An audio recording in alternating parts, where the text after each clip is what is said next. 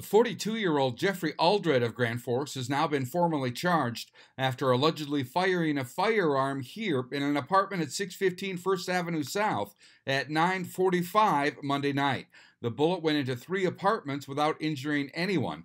Court documents say numerous witnesses directed police to his apartment where they found numerous firearms.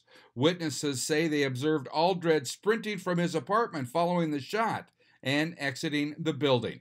Alldread's vehicle was located a short time later at his girlfriend's residence with a handgun in plain view on the front seat. Alldread was arrested without incident. He's now been charged with three felonies of reckless endangerment and misdemeanor discharge of firearm within the city. I'm Neil Carlson reporting for iNewZ.TV.